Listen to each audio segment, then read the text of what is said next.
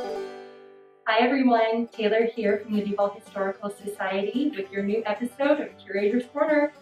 And today we're going to be talking about the early 1902 edition of the Sears Roebuck catalog. Way before we were using Amazon and all of these other delivery methods to get all of our home goods, we had to resort to using a specific Sears Roebuck catalog for all of our home goods. Look how far we've come.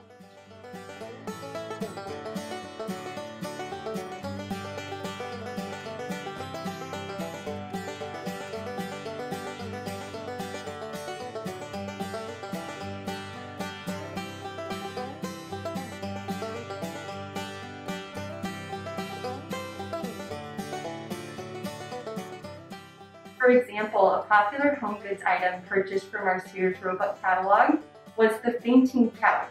Now these ones are leather, but here in our Dougherty House parlor, we have a very nice one as well. And back then, it could be purchased for less than $14.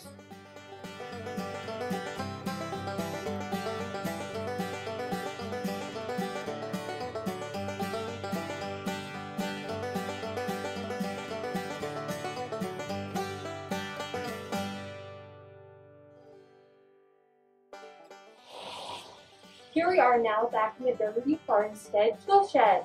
And over here you can see we have what is appearing to be a foot-powered grindstone.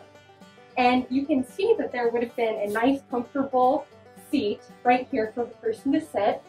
And then down here there are a couple foot pedals. And when they're pushed, you can see the grindstone here spins around.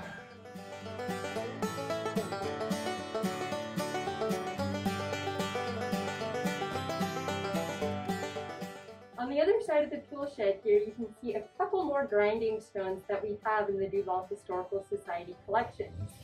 This one here was donated by Ada Trafton, which is a great way that we get most of our collections here at the Historical Society. And these ones here probably would have been used to sharpen a large assortment of tools here at the farmstead. By turning this handle here, you can see that the grinding stone spins round and round, which would have allowed farmers to sharpen most of their tools here. Thanks for joining the Duvall Historical Society with our first ever Curator's Corner. Feel free to share any stories you may have about the Sears Roebuck catalog, the 1902 edition.